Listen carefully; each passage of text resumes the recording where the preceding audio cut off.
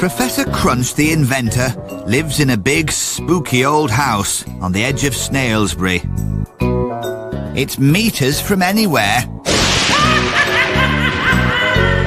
Which is just as well, because when Professor Crunch is working on a new invention, he tends to make rather a lot of noise.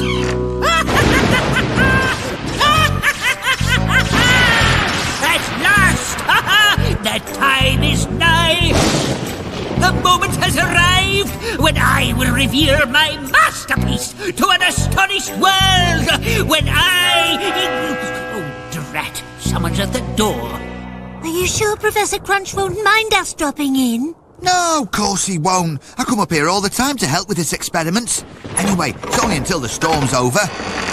Ah, Eric, Penny. Come in, come in. You're just in time to see my greatest creation. You'll never guess what it is. Well, let me see. Could it possibly be a very big snail? Not just a big snail, Eric. this is my masterpiece. I call it Franken-snail.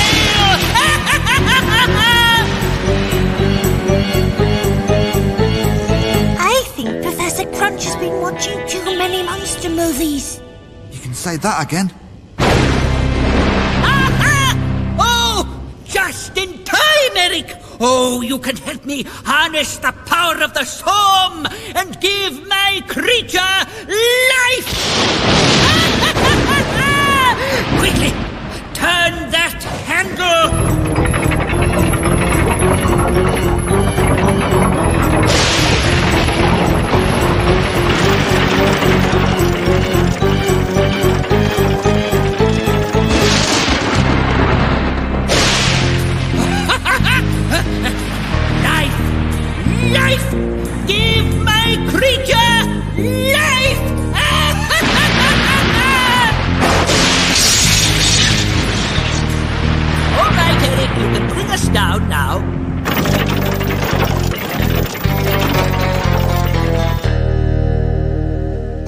To disappoint you, Professor, but I don't think it worked.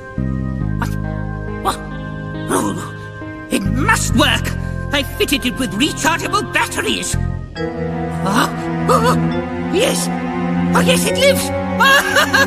Frankensnail lives!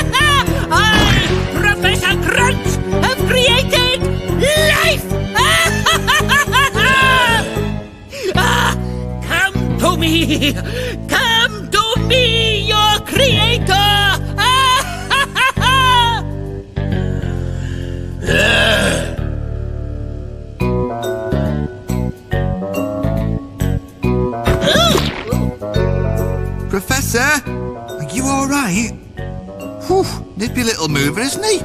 Yes, he certainly has a turn of speed. But don't worry, Eric. Everything's under control. Ooh, maybe you'd better tell him that.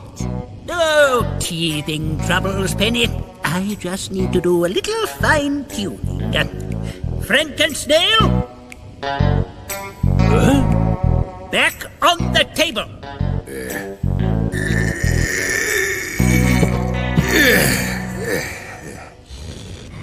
You see. No problem. now, my friends, I have much to do. You must leave me to my work. So as the storm subsided, Eric and Penny went home, leaving Professor Crunch to tinker with his creation, while Snailsbury settled in for a quiet night. But the next morning, just as the sun was rising,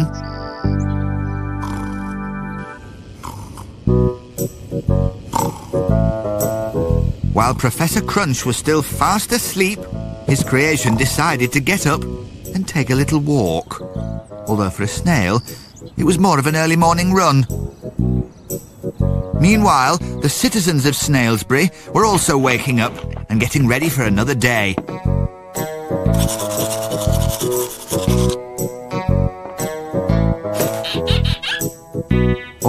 All unaware that a monster snail was heading into their midst. Morning, Mayor. Nasty old storm last night. Certainly was, Sergeant.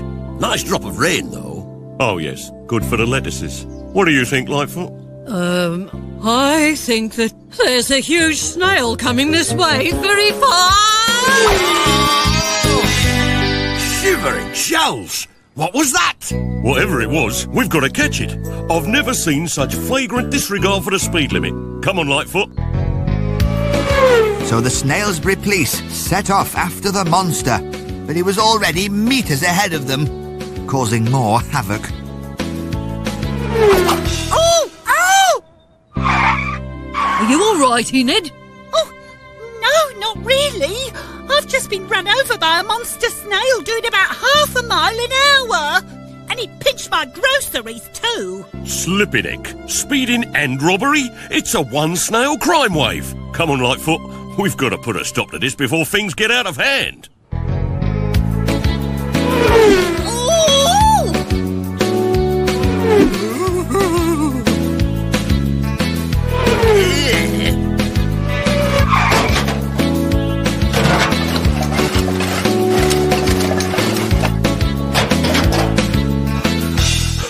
It's no good, Lightfoot.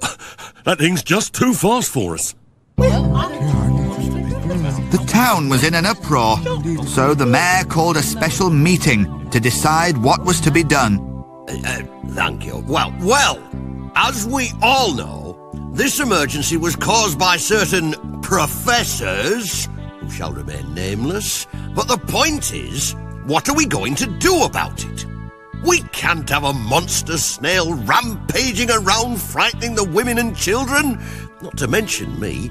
Any suggestions? Yes! I'd like my shopping back. I had my dad's favourite sausages in there. Yes, thank you, Enid. Very helpful. Now, if anyone else. Hang on, did you say sausages? Yes, I did. My dad was looking forward to them. Of course, that's it!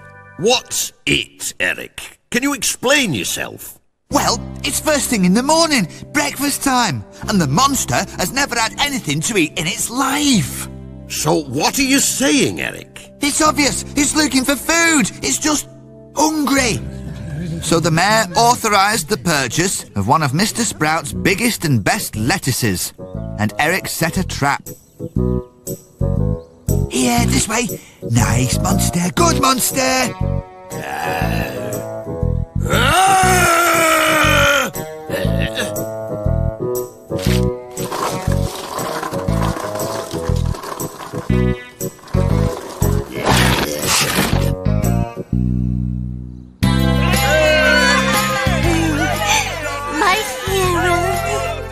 And so Eric saved Snailsbury from the curse of Frankensnail. And the monster was eventually reunited with his creator, Professor Crunch. The professor taught him to cook, skateboard, and play a mean game of drafts. And the last we heard, Frankensnail had broken another Snailsbury record